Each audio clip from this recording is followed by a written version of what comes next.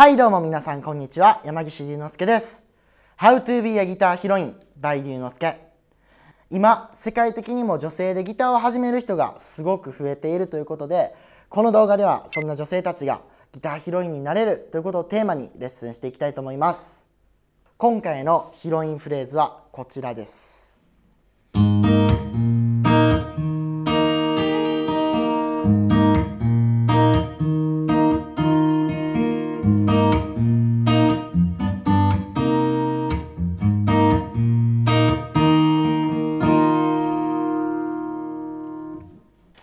さんの香水。ハンドルネーム海猫ちゃんさんからいただきました。どうもリクエストありがとうございます。はい今回の使用ギターはこちら。フェンダーのアメリカンアコースタソニックテレキャスターを使用してレギュラーチューニングに1カポでやっていきたいと思います。でこの曲の印象はですね本当にアコースティックのこの指弾きで弾くフレーズならではだなっていうのをすごい思ってあの3弦も2弦もこう同時に人差し指と真ん中の指で弾く感じとかちょっとリズムをパーカッションみたいにこう取りながらギターを弾く感じとかがアコギ弦のこの鳴りだったりアコギのこのボディ鳴りにすごく合う曲だなっていうのがすごい印象的でかっこいいなっていうふうに思いました。はいまずこの曲をちょっとゆっくり弾いてみようかなと思います。こ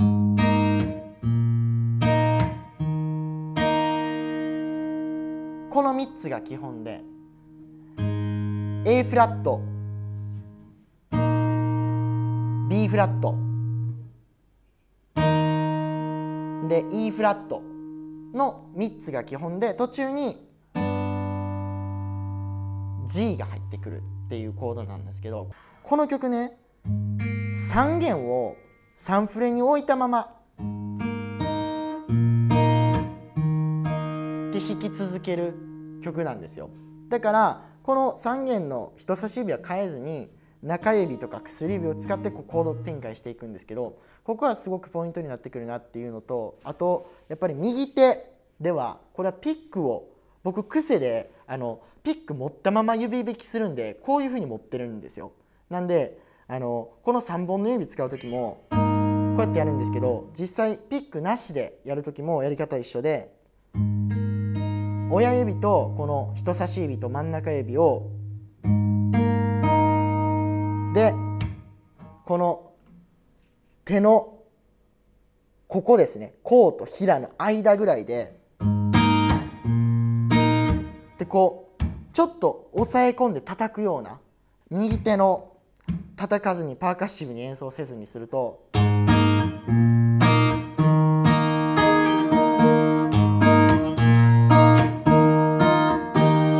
まあ当然リズムが取れなくなるので当然リズムが崩れるのとやっぱりその曲の歯切れ良さみたいなのが一気に今多分聴いてもらっててすごい分かったと思うんですけどこの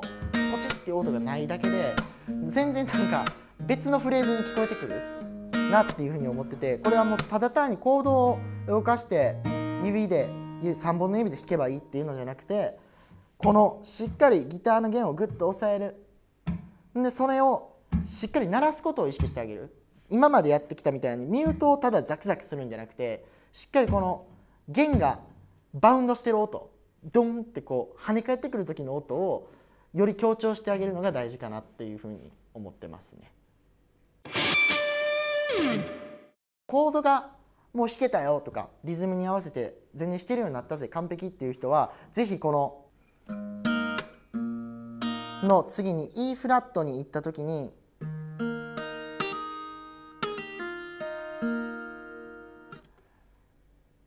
3弦の3フレ2弦の4フレ1弦の3フレ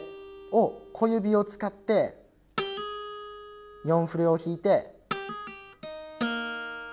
っていう風に弾いてみてほしいなと思います。でこれあの女性が例えば弾く場合っていうのは僕もギター始めたの3歳とかだったんで当然こうやって握れるわけがないので僕はもう弾けないフレーズがある時はひたすら親指を握り込むんじゃなくて下にします。なのでもうギターの根っこ支えてない感じですねこういうふうに親指を下にやったりとか逆に親指をこのカポのちょっと間ぐらいここに置いてあげるとっ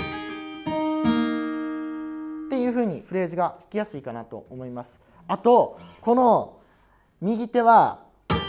で弾く時は思いっきり優しく弾くんでも思いっきり強く弾くんでもなくちゃんと